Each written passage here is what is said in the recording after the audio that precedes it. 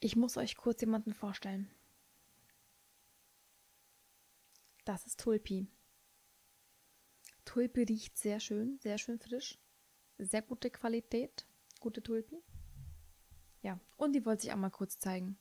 Passt auch zum Video. Ihr werdet es gleich sehen. Hey und herzlich willkommen zum heutigen Malquickie-Video. Und wir haben einen neuen Begriffe-Rekord.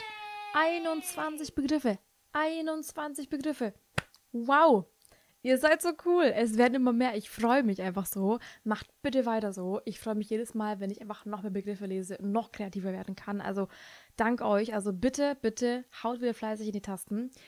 Aus diesen 21 Begriffen, die wir letztes Mal hatten, habe ich wieder mal drei coole rausgeneriert. Und die wären einmal die Nummer 10 von der lieben Nina. Danke an dich und ganz liebe Grüße gehen raus. Bei dir war es heute der Garten. Dann haben wir die Nummer 7, das erste Mal dabei, der Jan. Ich hoffe, ich spreche es richtig aus. Wenn nicht, bitte in den Kommentaren mich verbessern und irgendwas schreiben. Aber ich hoffe, das passt. Ansonsten ganz liebe Grüße an dich und an deine Hintergrundklicke raus. Also danke an euch. Macht bitte weiter so. Bei dir ist es heute das Sparschwein geworden. Und dann hatten wir noch die Nummer 4 von der lieben Julia.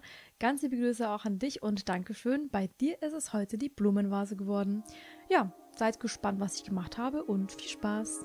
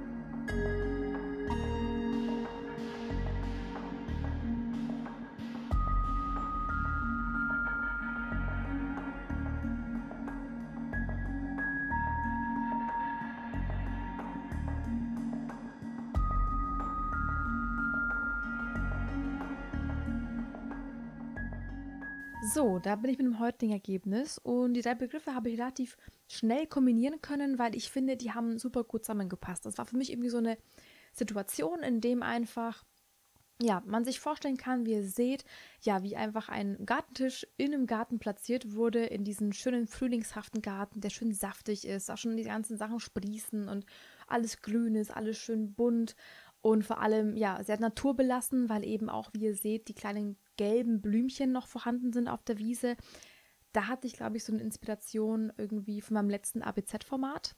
Falls ihr es noch nicht kennt, ich verlinke es hier oben wieder. Und zwar ging es da um Pusteblumen, also in dem Fall das Vorstadium Löwenzähne. Da musste ich wieder dran denken. Genau, deswegen habe ich die gelben kleinen Blümchen gemalt. Und ja, und dann dachte ich mir, passend auch zum Frühlingsbeginn, einfach so dieses ganze schöne, ja, Blumenthema, äh, Garten, habe ich mir gedacht, nehme ich die Blumenvase doch gleich mit raus, tu mir dann noch ein paar schöne Tulpen rein, um eben das ganze Feeling noch eben zu betonen, dass man da eben schöne frische Blumen hat, eben in Form von Tulpen. Und ja, ich habe mir eben gedacht, das ist einfach eine Person, die einfach in diesem Bild gerade nicht vorhanden ist, gerade äh, nicht da ist, aber gleich wieder zurückkommt bestimmt, dass die vielleicht ähm, so eine Art Sammler ist, die vielleicht Münzen sammelt, die Person. und gerade vielleicht neue Münzen irgendwie gehortet hat, gesammelt hat und die eben jetzt gerade wieder die richtigen, bis die, die die Person noch nicht hat, die äh, zur Sammlung also noch fehlen sozusagen, sozusagen ja eben erstmal hier ausbreitet auf dem Tisch, wie ihr seht, die paar Münzen, um eben zu gucken, was eben noch fehlt, was eben die Person schon hat, um dann die, die eben noch fehlen, zur Sammlung hinzuzufügen, also ins Sparschwein reinzuschmeißen und sozusagen ja die Sammlung wieder zu vergrößern. Das waren so die Gedanken, die ich hatte zu dem Bild, zu den Begriffen. Und ja, ich hoffe, es gefällt euch. Ihr könnt gerne in die Kommentare schreiben, wie euch das Bild gefällt, aber auch wieder sehr gerne neue Begriffe schreiben. Ich freue mich sehr. Vielleicht knacken wir sogar den nächsten Rekord. Ansonsten einfach kreativ werden. Ich freue mich bei jedem Begriff. Also danke schon mal dafür.